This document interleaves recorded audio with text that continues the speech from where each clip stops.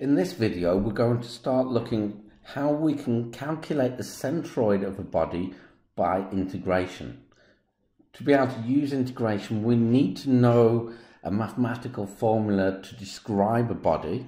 But before we do that, we're going to recap where we were with the centroid calculated from regular bodies that we know to, to find the centroid of an irregular body. So just as a recap, if we have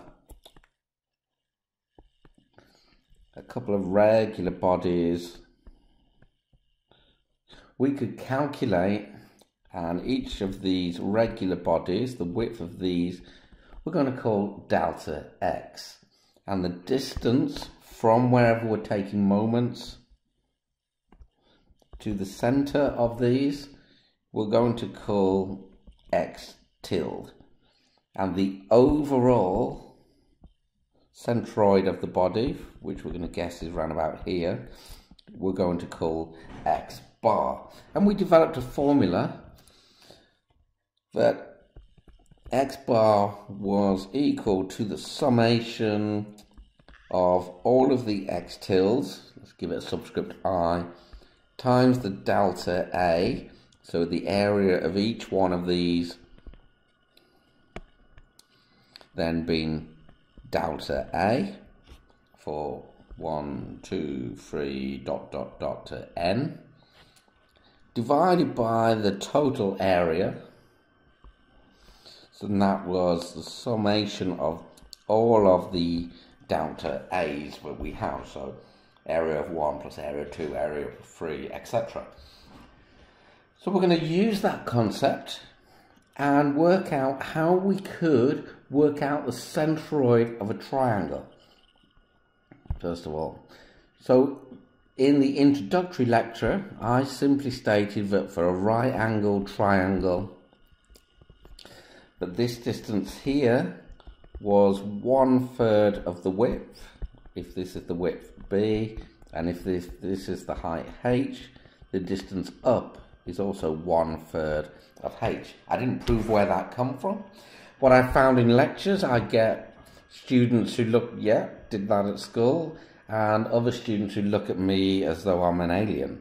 So we're going to describe how we get these one third H and one third B, and therefore use that derivation method to get the centroid of any shape.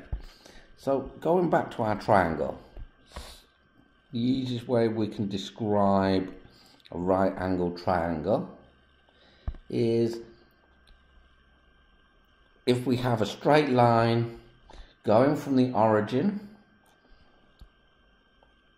and it reaches some point on the x-axis B and this is the area of the triangle and we're trying to work out where the centroid is which we expect will be round here with the one third of the height, one third of the breadth. So the value here on the y-axis is going to have the value h. And let's just label our axes y and x. And one of the simplest ways we can do is we can use something called the trapezoidal rule. And I'm going to go even simpler than that, although it's effectively the trapezoidal rule, is what we can do is chop this up into equally spaced, honest, segments, all of width delta x. And at the halfway point of each of these segments, we'll just take the average value of the function, so what the value of the function is at that halfway point, so we do it for this one, and we'll convert each section into a rectangle. And then we can still do our summation as we've done always for regular bodies, but we have the x bar equals the summation. And again we've got this x tilde, which is the distance to the centres of each of these rectangles, summation of all of the x tilde multiplied by the areas of each of these blocks. And divided by the sum of the total area, of so divided by the total area, which is the sum of the individual areas. I'm going to take this concept a little bit further. And so that's how we could, we could, for any shape we like, numerically split any shape we like into lots of lots of rectangles and calculate any shape we like, whether we given something mathematically or digitally. If we're given something mathematically, we can actually do something really neat. So again, I'm going to draw my triangle. I've got a y-axis and x-axis and I draw a line and this is the triangle that I want to find the centroid of the line here would be described by a function y equals a x and there's no the y-intercept is zero so we don't have a, a plus c so y equals mx plus c and we can imagine going back to the idea we introduced before we're cutting this into blocks is we could examine a very small sliver of material. And we could even imagine that this sliver of material is infinitesimally small, i.e. it has a width of dx. And the value of this center point here is going to be y. We also know where the centroid in the y direction is. So the y tilde for this little section would be at this point. And we also know this distance here to where the sliver has been cut. And I'm going to call this x tilde.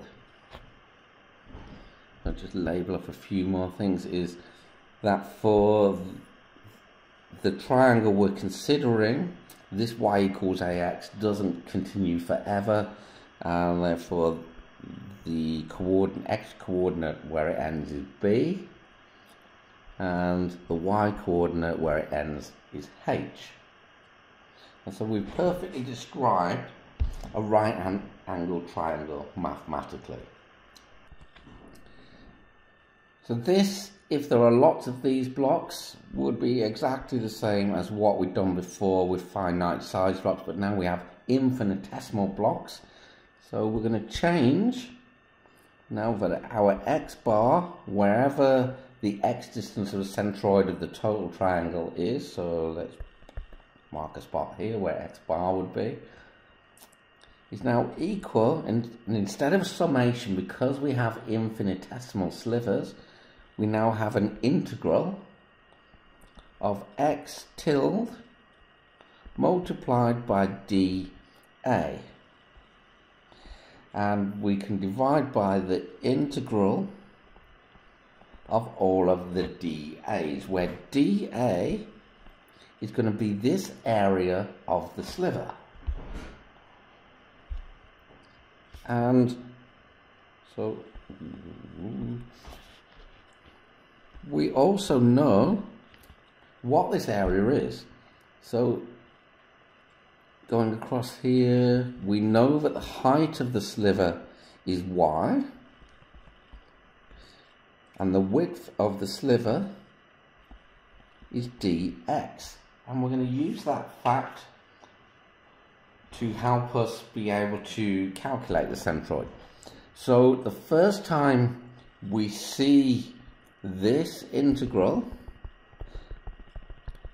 alarm bells start to ring. And those alarm bells are, is how do I perform an integral over dA? I'm very used to performing integrals over dx. I can quite happily extend that idea to dy, but I have no idea how to perform an integral over dA. So luckily, we're going to take this fact here that dA is equal to y dx and we're going to substitute it into this formula. So we get from that that x bar equals the integral of x tilde of y dx. And the same on the bottom, we now have the integral of y dx. And I think this is a pretty important equation. It's the equivalent of what we derived earlier, but now this is for a generally mathematically described shape. And this, along with the equation earlier, and I'm going to written it twice, this here, these are pretty much going to go on your revision sheet for an examination. So now for this particular case where we've described the triangle, so we know for our triangle that y equals ax. So I'm going to substitute wherever I have y in this formula, I'm going to substitute ax. Now I can get rid of this tilde because x at any time when I'm performing the integral is the distance as I move along my x-axis. I can actually delete that there. So, for this particular case then, x bar equals the integral of x times ax, which is a x squared dx and divided by the integral of y dx and y equals a x integral over dx. And now for the case we're looking at, let's remind ourselves our triangle gets to or starts at 0 and ends at b in the x direction and we're integrating over x. So let's put the limits naught and b on our integrations, which helps out because we're going to be performing a definite integral. So let's perform a definite integral. So let's remind ourselves we have x bar equals integral between naught and b of ax squared dx divided by the integral between 0 and b of ax dx which performing the integrals gives us ax cubed upon 3 plus a constant of integration, let's call that C1, and we're going to evaluate that between 0 and b, that's on the top, and on the bottom we get a x squared upon 2 plus another constant, constant of integration c2 and we evaluate between 0 and b and because we know that we're evaluating a definite integral, the c's will cancel themselves out. So we have ax cubed upon 3 divided by ax squared upon 2 and evaluated between 0 and b. So top and bottom we have a's, that can go, and we have x squared over x cubed over x squared and a 2 thirds coming out. But we need to perform this definite integral first. And let's do that. Do that formally. So we have a b cubed upon 3 divided by a b squared upon 3 and when we take let's say the a and the a and we have a b squared and a b cubed so that one will go and that just becomes a b on top.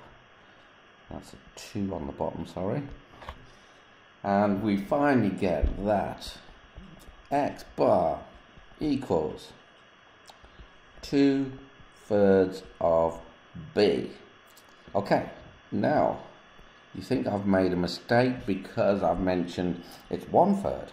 Okay, let's remind ourselves how we've done the integral. Our triangle was drawn like this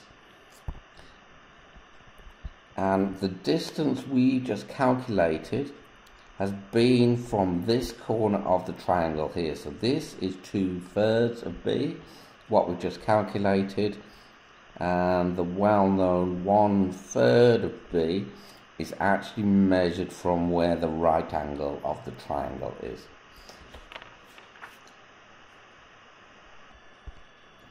So we have the x coordinate of the centroid of our triangle. We're now going to move along to calculating the y coordinate of our triangle. So Let's draw our axes. We have y, we have x. We have our triangle defined by y equals ax. And our known values at the end are h. Our triangle comes all the way down to our known value b. And we have our differential element which has the width of dx and considering this to be rectangular if the value at this point is y then this value is y tilde and we know because it's rectangular that y tilde equals y upon 2 again we'll examine the area hasn't changed from last time, but let's write it down for completeness. For the area of our differential element, so y, oops,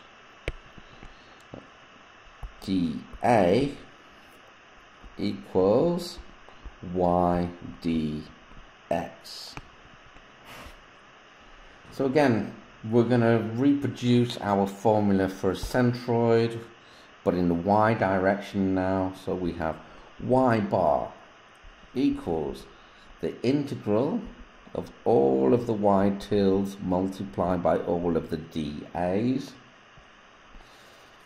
Um, all divided by the total area, which is the integral of the dA's. And we use the same trick as before. We don't like integrating over dA. So but we do know that dA is y dx. So we'll substitute that fact in. We get y bar equals the integral. And now we know that y tilde is y upon 2. And we know that dA is y dx.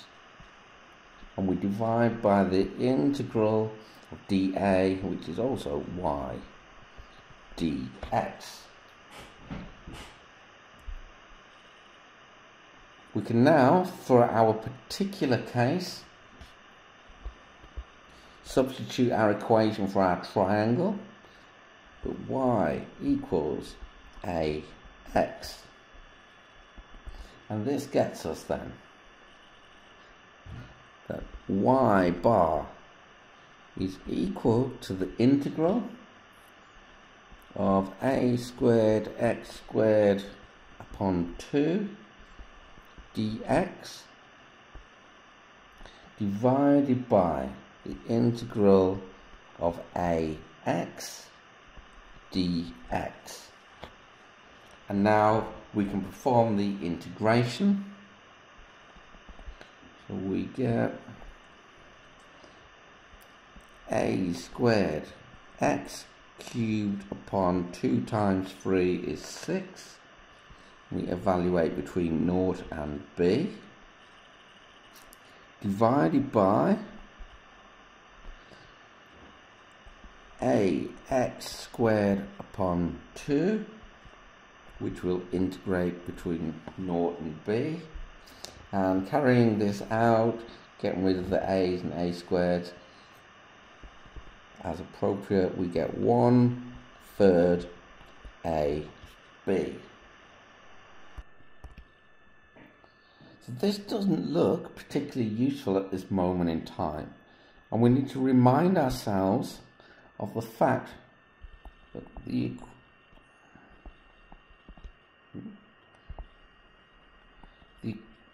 why is that doing that?